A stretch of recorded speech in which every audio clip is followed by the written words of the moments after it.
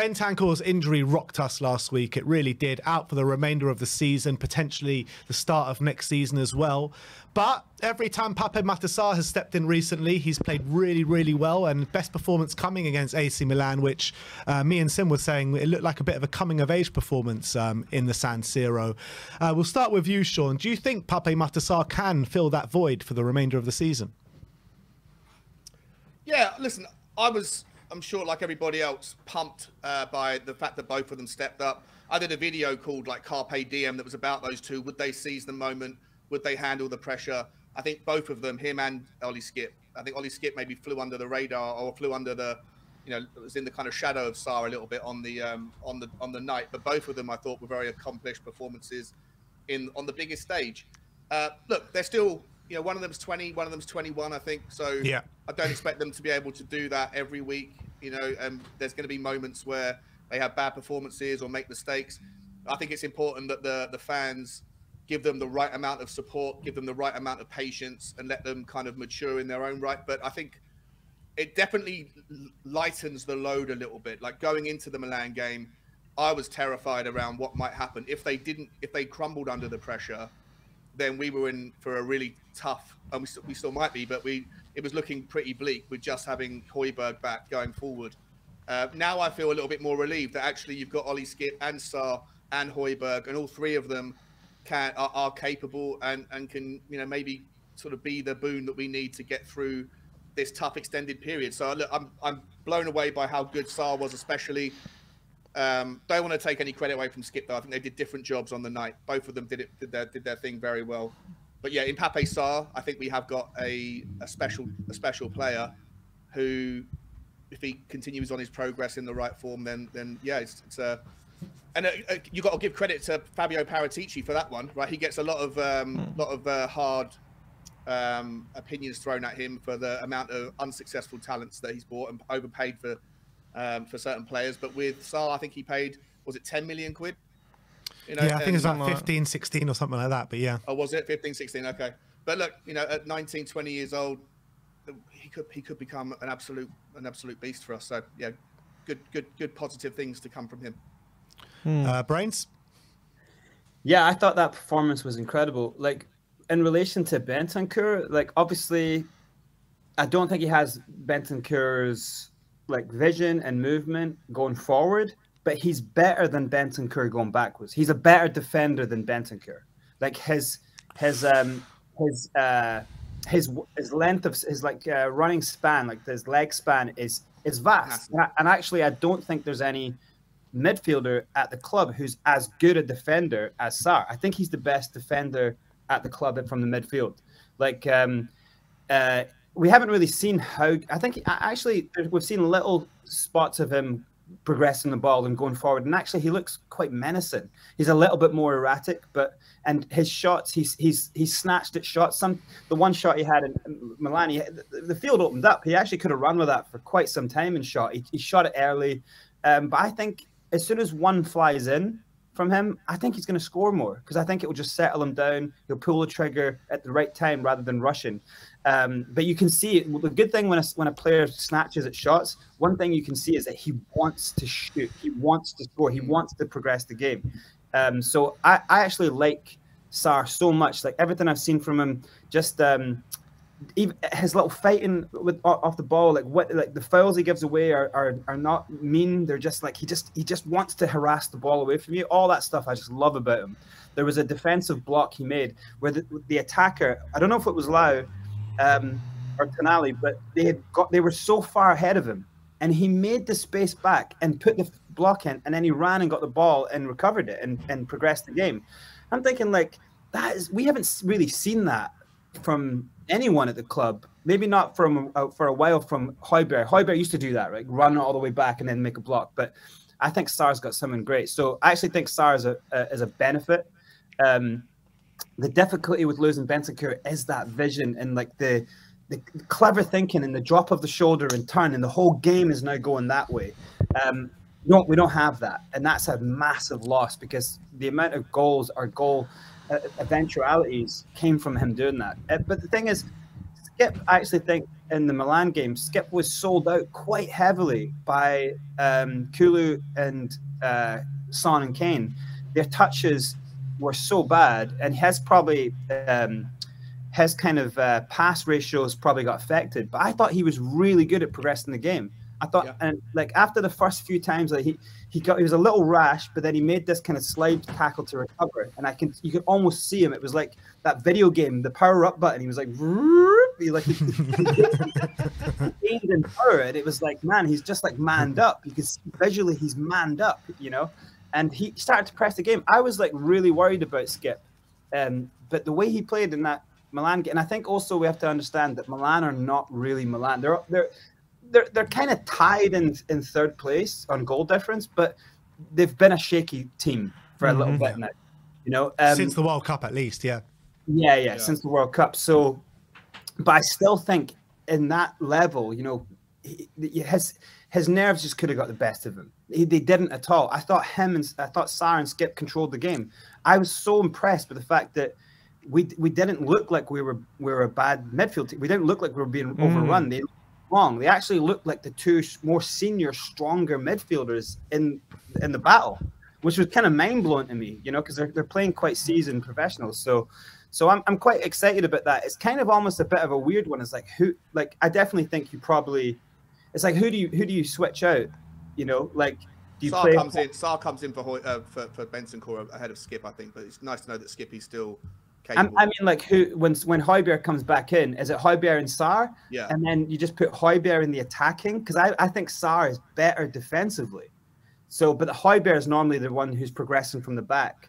So um, I think you let Sarr do that and you put Højbjerg because like, Højbjerg's got goals this season. He's actually a, a clinical finisher yeah. of the ball. So, and so that's what you would do. But I actually don't think it's uh, it's, it's it's too bad. This could just be the moment for Skipp to actually come in and get a run you know, and like he, will probably play every game now. He'll be an alternate, even if he isn't starting. He will play every game.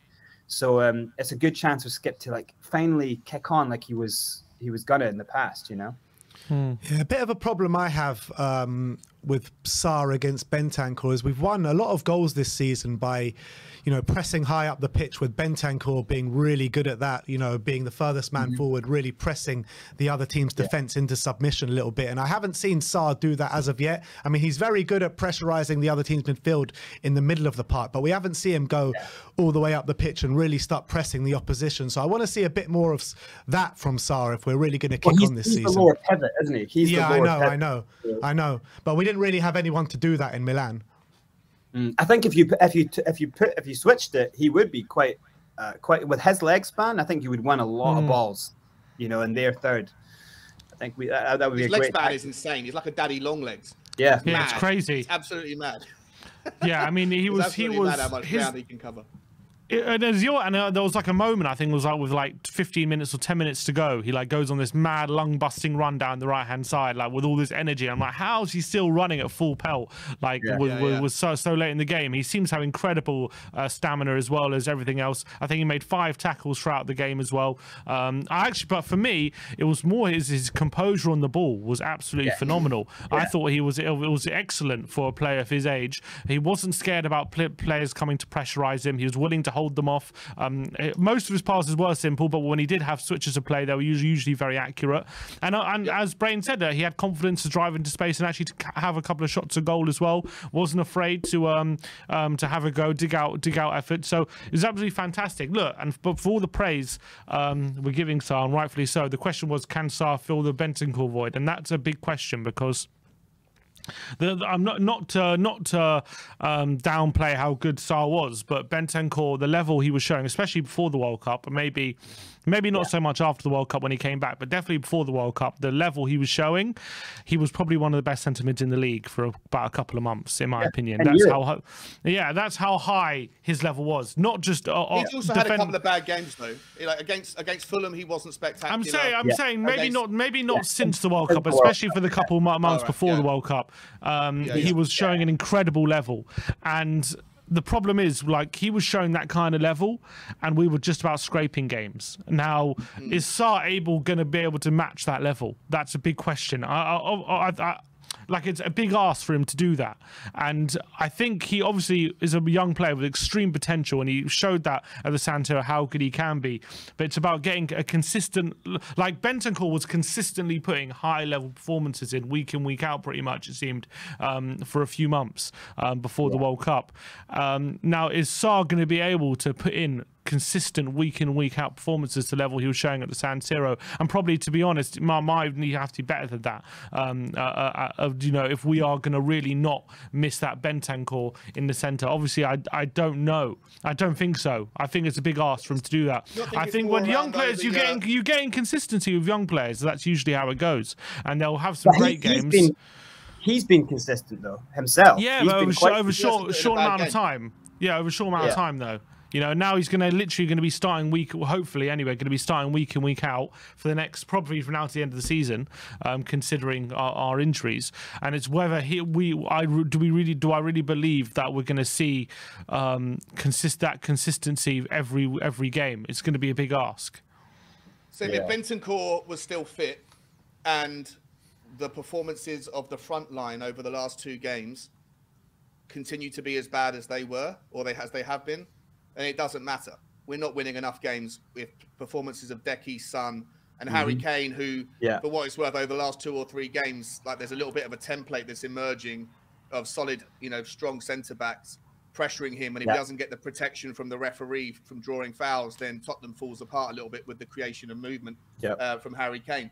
If if Pape Sarr can put in 90% of the performance that he put in against Milan, for the rest of the season, and the other the three at the top, whoever those three are, can, can yeah. step onto another level or back mm-hmm. to the level that they were previously, then we'll be just fine. I don't think Sarr is the problem. I think at the moment we need more from the guys at the top, and we need more consistency from the guys at the back. And if Sarr does that sort of performance, if the other two areas have a bit more security and reassurance, then I think we'll be just fine. Yeah, I think. I think uh, go on, Brian. Yeah, sorry. Go on. I was going to say I think it's about like the partnership of who he's partnered with. Like, say, like this season, Højbjerg has actually been. I would say Højbjerg has been better attacking than he's been at the back. He's been sometimes a bit of a liability for me. Like sometimes he just stops or he shuts off. Sometimes he hasn't been the extra layer of support, and I think we've that's added to our defensive problems. Um, so I think if you have him on the front foot doing the kind of link play, he's obviously not as good.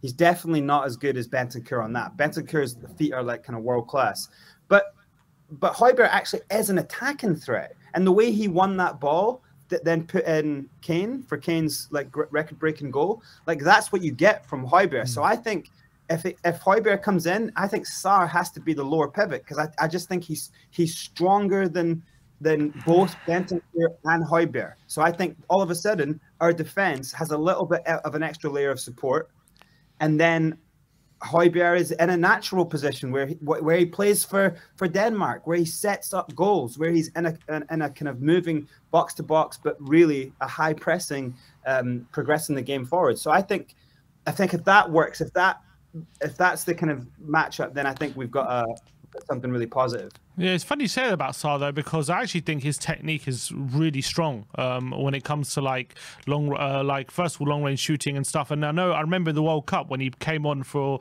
periods for Senegal, he was taking all their set pieces, all their corners and free kicks. Yeah. He was taking all of them and, and, and quite to a good, decent standard as well. So it'd be yeah. interesting to see if he if he was to get more bit more freedom to um, um, be in the final third on occasion, uh, how he performs. Because I reckon, obviously, he's still very young, but uh, given a bit more uh, maybe responsibility to do that, I reckon he could prove dividends for us. Maybe not in the short term, but definitely over the long term.